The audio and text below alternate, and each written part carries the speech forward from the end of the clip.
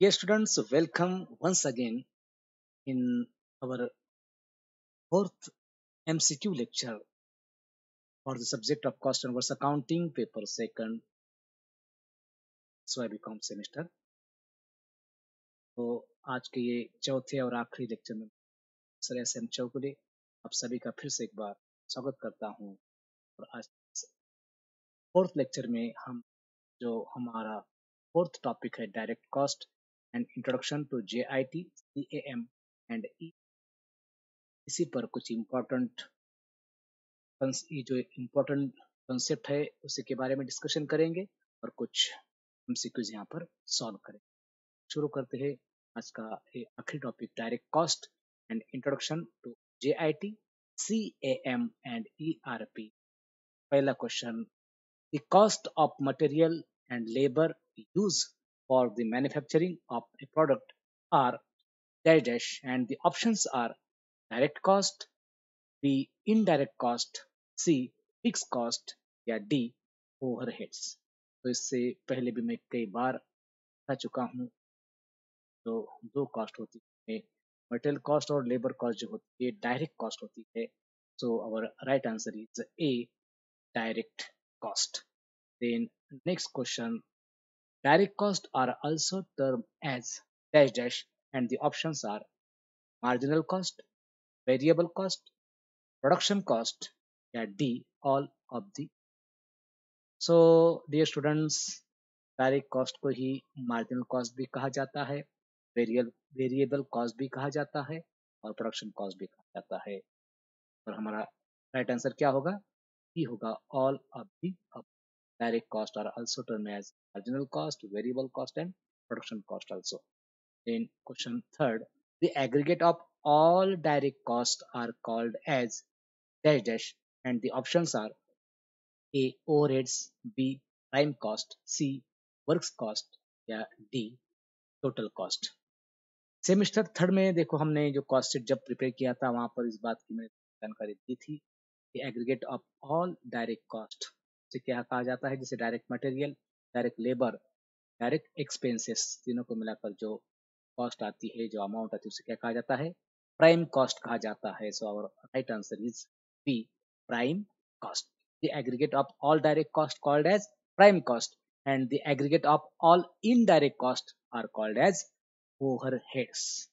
Then next question, just in time was successfully implemented by dash dash in Japan and the options are Toyota, B Honda, C Suzuki या D Volkswagen. तो just in time ये जो concept है ये जो costing technique है ये कहाँ पर इम्प्लीमेंट किया गया सबसे पहले जापान में टोयोटा कंपनी ने इसका इम्प्लीमेंट किया था so right answer is A JIT was successfully implemented by In Japan. Then next question number five. In just-in-time system, dash there is no delay. B. Convenience times are balanced. C. There is unequal production different places. D. Both A and B. So in just-in-time जो है there is no delay and uh, convenience times are balanced. So our right answer is D, both A and B. Then next question, number six. JIT, just in time, is used in dash dash single unit production, B, big lot size production, C, both A and B, and D, none of the. और just in time जो है वो single unit production में use किया जाता है our right answer is A. Just in time is used in single unit production. Then next question number seven. CAM से CAM कहा जाता है CAM stands for तो हमें यहाँ पर ये देखो तो ऑप्शन दिए है लॉन्ग फॉर्म हमको यहाँ पर पूछा गया है कैम का ए है company applied manufacturing B computer applied manufacturing या सी कंप्यूटर एडेड मैन्युफैक्चरिंग या कंपनी एडेड मैन्युफैक्चरिंग तो CAM C A M CAM का सही लॉन्ग फॉर्म है सी कंप्यूटर एडेड मैन्युफैक्चर ये बहुत ही इंपॉर्टेंट सॉफ्टवेयर यहाँ पर यूज़ किया जाता है। Next number eight CAM is the relationship between dash dash and the options are science and engineering manufacturing and marketing c design and manufacturing and d design and तो CAM जो है ये जो सॉफ्टवेयर है ये डिजाइन एंड मैन्युफैक्चरिंग में use होता है so CAM is the relationship between design and manufacturing so our right answer is c design and manufacturing then question number 9 locating device are classified as dash dash and the options are text input device graphic device all of the mentioned uh, none of the यहाँ पर देखो locating device जो है क्या में use किया जाता है तो it is classified as graphic device और right answer is B graphic device then question number 10 just in time aimed at dash dash a zero inventories b reduce manpower C over production या D increase efficiency तो just in time जो है, उसका aim है zero inventories so our right answer is A zero inventories then question number eleven the term E R P was first use in dash by the partner तो E R P first कहाँ पर use हुआ था? कब use हुआ था? वो पूछा गया है. And the option are nineteen seventy five B 1986, C 1990, yeah, D 1995. So ERP was first used in 1990. So our right answer is C 19.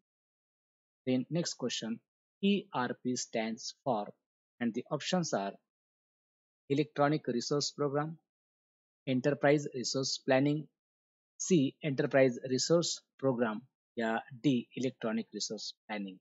And our right answer is C, इसका सही लॉन्ग फॉर्म है Enterprise Resource B, enterprise resource planning. So our right answer is B, enterprise resource planning.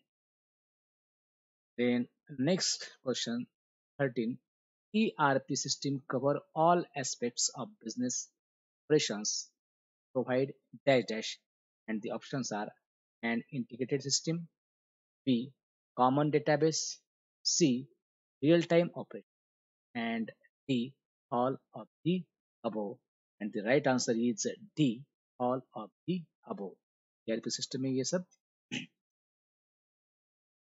किया जाता है उसके बाद में question number fourteen the system environment mainframe computer consist of dash dash and the options are central processing the storage device c printers and plotters d both a and b So the system environment in a mainframe computer consists of both central processing and storage device. So our right answer is both A and B. And today's last question number 15 is dash is a use for geometric modeling like solid modeling, wireframe modeling and drafting and the options are software package, operating system, C. Application software. D. Hardware.